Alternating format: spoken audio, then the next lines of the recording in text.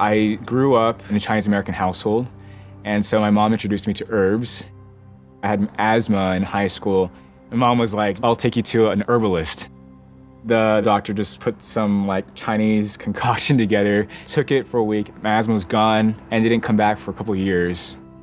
There's so much potential for thinking about health, not in terms of drugs, but in terms of just changing your lifestyle.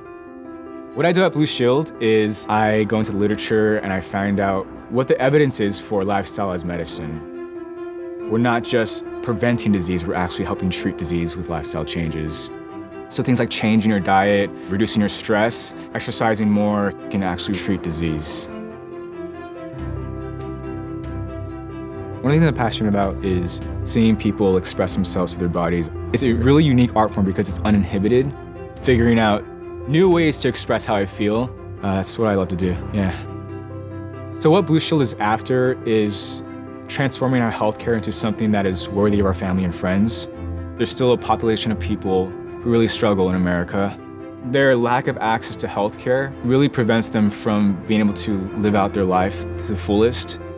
When I think about the healthcare I want to provide for my mom and for my dad, being at Blue Shield specifically is allowing me to fill that gap.